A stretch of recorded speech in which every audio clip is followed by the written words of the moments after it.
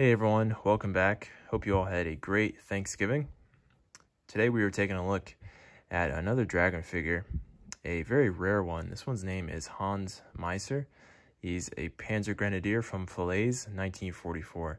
And as I said, this is a very difficult one to track down these days. It took me a very long time, so I'm really happy to have this one in the collection.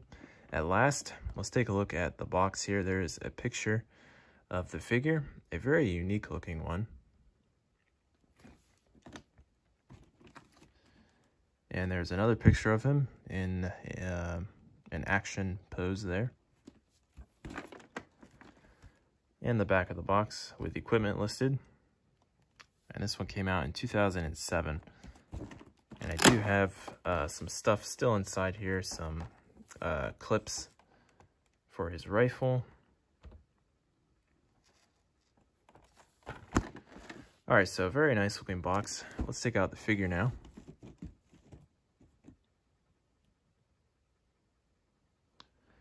So I've replicated the pose on the box.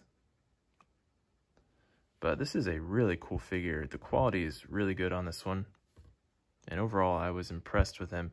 The uniform is definitely uh, very unique. I've never really seen a uniform like this uh, with the different camo designs and then with the blue checkered scarf. It's just uh, very unique. I like it. It's cool.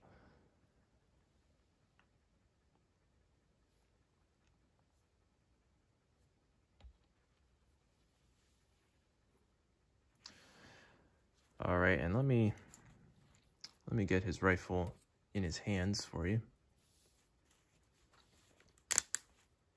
And as you can see, what's really cool about this rifle is that it has a grenade launcher, which is very unique. You don't see that a lot. In fact, I'm trying to think of another German figure that comes with a grenade launcher uh, that's not common, that's for sure. I'm sure there's another one, but I can't think of one at the moment. Uh, but yeah, really cool accessory.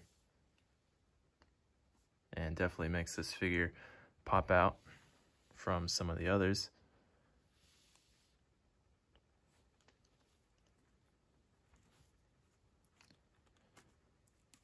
Okay, so let's take a look at this up close.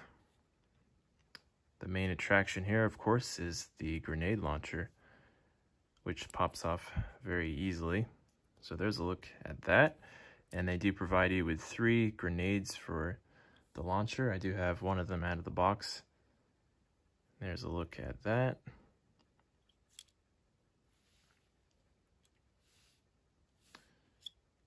All right, and they also give you um, this here, which of course is um, for the grenade launcher, but it's very, uh, I found it a little bit awkward to put on so I've left it off for the moment. Um, but you kind of get the idea there.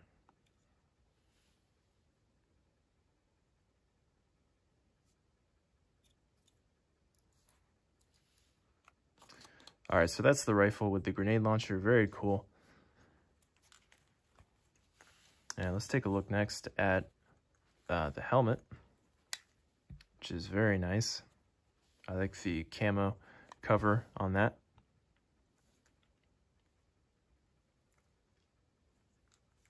Let me take this off. And if you want, you don't have to put the cover on, actually. you can take that off if you want. Let me actually take it off for you.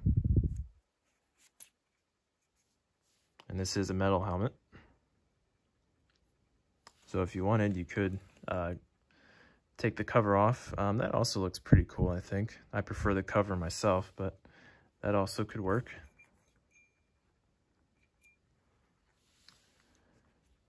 And here is the head sculpt, which is very nice. He's got a pleasant expression on his face.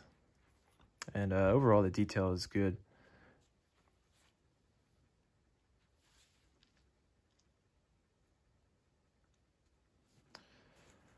All right, as for equipment, as you can see, I think the obvious thing here are the grenade bags. And each one has three uh, stick grenades in there. So very cool. Definitely don't see those a whole lot. All right, we've got pouches there for the um, clips for his rifle. And then in the back, we've got standard German equipment. There's the gas mask canister. Very nice, as usual.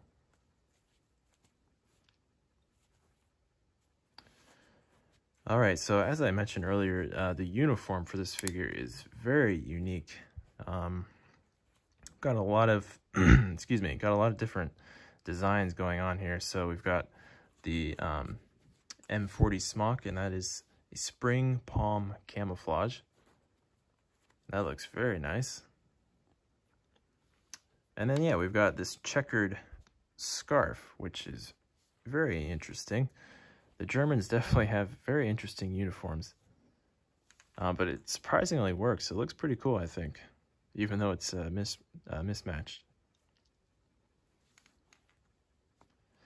All right, and then his pants, I believe this is Italian camo. Correct me if I'm wrong, but another different design there for the pants. Um, but yeah, I think it works. It definitely looks different, but it, it works.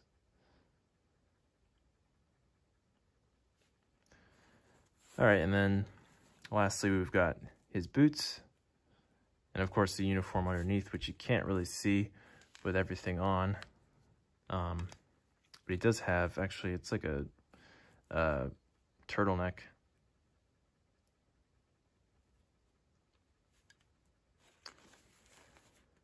All right, um, I think that's everything to show for this figure. Overall, I really like him, and I'm definitely happy that I was able to get him finally. He is a tricky one to find, and I did get this one off eBay, and I paid around $100, so pretty pricey, but um, I think it's worth it. Um, I would have preferred to pay a little bit less, but considering, you know, the rarity of this one, I think that's a reasonable price for him because he really doesn't show up anywhere. So um, I do recommend checking this one out if you can find him. And I really hope you guys enjoyed this review. And once again, I hope you had a great Thanksgiving. All right, guys. Thanks for watching. I'll see you next time.